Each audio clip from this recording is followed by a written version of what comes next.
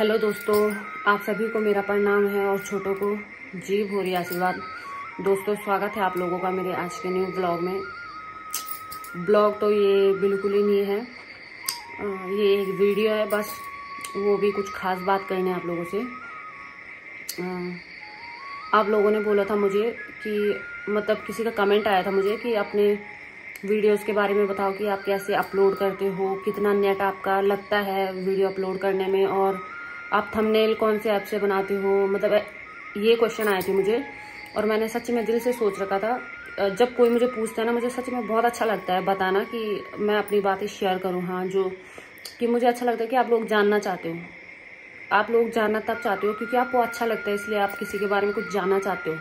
जब आपको अच्छा लगता है तो फिर मुझे अच्छा लगता है शेयर करना कि मैंने भी कहीं से देखा है, समझा है, जाना है, तब मैं आप लोगों को बता पा रही हूँ।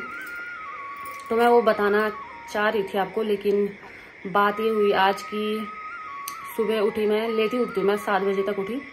काजू नाश्ता नुश्ता करके चली गई थी। काजू ने रात की सब्ज़ी थी शायद, नहीं, सब्ज़ी सुबह बनाई।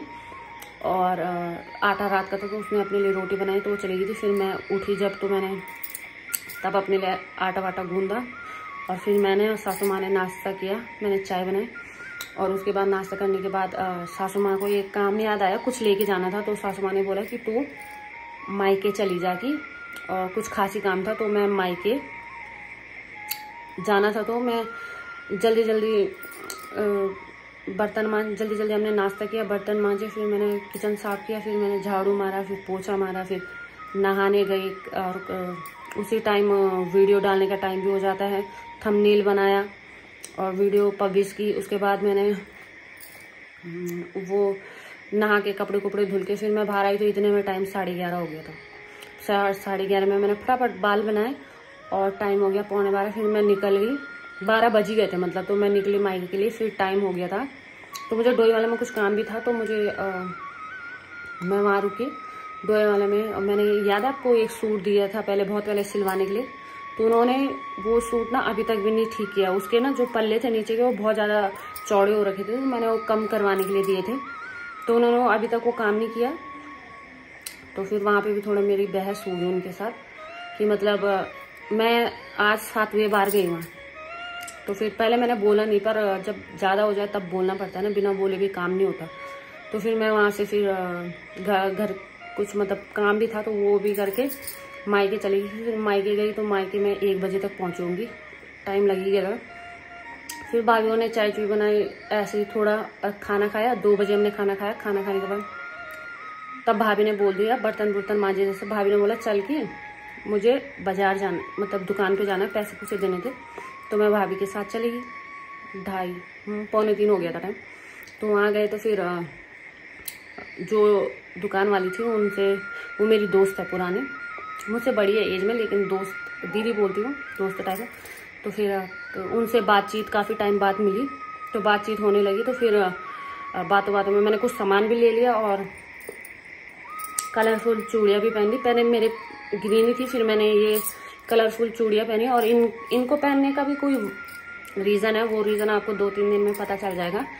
तो फिर जब हम वहाँ से निकले ना तो विश्वास नहीं हुआ कि टाइम पाँच हो गए थे। वहाँ से आए फिर घर पे आए फिर आ, मैंने भाभी को बोला यार भाभी मैं जा रही जल्दी जल्दी चाय बना दे चाय पी के चली जाऊँगी। फिर भाभी ने चाय चुई बनाई। इतने में जाने का टाइम हुआ तब तक मेरा छोटा वाला भैया आ रखा था ना तो वो नीलकंठ गया हुआ था। तो वो नीलकंठ जल जुल चढ़ाने गया होगा तो फिर वहाँ से आया तो वो प्रसाद लेके आया तो उसने बोला रुक जा प्रसाद लेके जाएगी। फिर मैं रुक गई। फिर मम्मी प्रसाद रखने लग गई। इतने में टाइम पौने छः हो गया। मैंने कहा, बहुत देर होगी, मैं निकल जाती हूँ। फिर मैं निकली घर से छः बज ही गया था शायद, और यहाँ पहुँची मैं साढ़े छः पौने सात हो गया था टाइम फिर यहाँ से मुझे एक कुर्ती देनी थी सिलवाने के लिए तो मैं वो कुर्ती लेके गई टेल, टेलरनी के पास, उसके पास गए हम।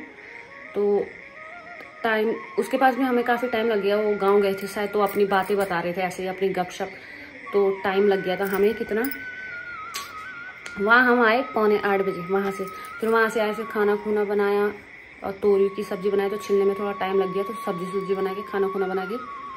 टाइम मतलब हमारा दस बज जाता है खाते खाते अभी टाइम हो रहा है पौने ग्यारह। मैं अभी जब ये वीडियो शूट कर रही हूँ तो मतलब मुझे आज बिल्कुल ही टाइम नहीं लगा व्लॉग बनाने का। मैंने सोचा था अच्छे से आप लोगों को बताऊँगी व्लॉग बना के। अभी सासू माँ भी लेट है, शायद उन्हें नींद नहीं आई और काजू भी कंप्यूटर पे कुछ कर रही मैं भी यहाँ पे बैठ के मैंने सोचा आप लोगों को बता दूँ कि क्या क्या बात हुई तो मैं दिल से सॉरी बोलती हूँ कि जो आपने बोला था वो मैं आज कर नहीं पाई, लेकिन मैं कल कल के ब्लॉग में पक्का वो बना दूँगी उसके लिए। मैं सच में मुझे बहुत बेकार लग रहा है कि मैंने आप लोगों से प्रॉमिस किया था कि मैं मैं ऐसा कभी करती हूँ। मैंने जो बात बोली है मैं वो पक्का करती हूँ।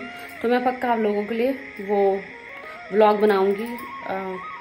क्या पता वो आपके लिए हेल्पफुल हो, है ना? तो मैं ज़रूर वो आप लोगों के लिए बनाऊँगी और और भी आपके क्वेश्चन होंगे तो मैं ज़रूर बताऊँगी जो भी आप लोग पूछते हो मतलब ना यूट्यूब से रिलेटेड तो फ़िलहाल तो मैं उसके बारे में आपको कल ज़रूर बताऊँगी। ऐसा नहीं कि आ, मैंने बोला और उसके बाद किया नहीं। ऐसा बिल्कुल नहीं होगा। आप लोग मेरे साथ जुड़े हो मुझे रोज़ देखते हो सुनते हो तो अपनी बातें भी मेरे सामने रखते हो।